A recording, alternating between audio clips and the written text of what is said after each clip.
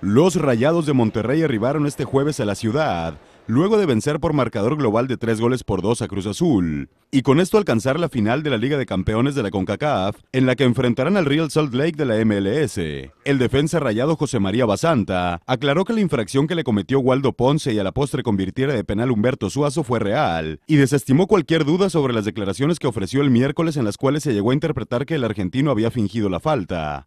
Sí, no, no, me caigo, es penal. Eh, es obvio, el árbitro estaba en buena posición para verlo, entonces eh, puede ser chiquito o grande, pero fue penal. Sí, sí, obviamente, yo cuando voy a saltar me, empuja, entonces me, me caigo hacia adelante. El secretario general de la Federación Mexicana de Fútbol, Decio de María, quien se encuentra en la ciudad para sostener una reunión de trabajo con José González Ornelas, felicitó al conjunto albiazul por la obtención del pase para disputar el título del certamen y añadió que espera que el conjunto regiomontano complete la tarea, pues es un representante mexicano. Qué bueno que, sigue manifestándose el fútbol mexicano en este torneo, en donde siempre los equipos mexicanos alcanzan la final.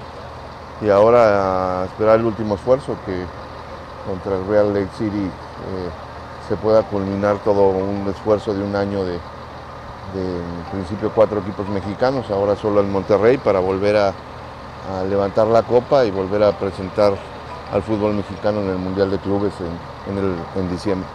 El técnico rayado Víctor Manuel Bucetich señaló que al disputar dos torneos tendrá que rotar alineaciones para evitar el desgaste, pero afirmó que buscarán continuar con el buen paso en ambas competiciones.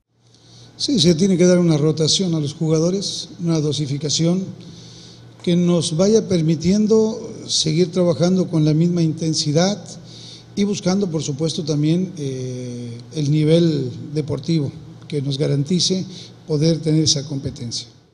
El presidente ejecutivo Jorge Urdiales aclaró que las metas conseguidas hasta el momento son fruto del buen trabajo realizado por todas las personas que pertenecen a la institución. El, ver cómo el trabajo que se está desarrollando todos los días eh, en todas las áreas del, club, pues puede llegar a tener eh, consecuencias favorables eh, logros importantes que trasciendan en la historia y en la vida del club, que es lo que se trata de construir todos los días.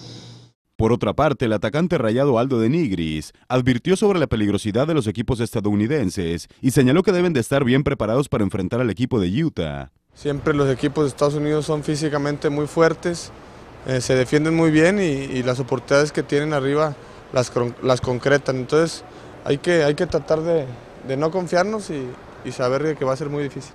Con imágenes de Ricardo Esparza e información de Fernando Vanegas, Grupo Reforma.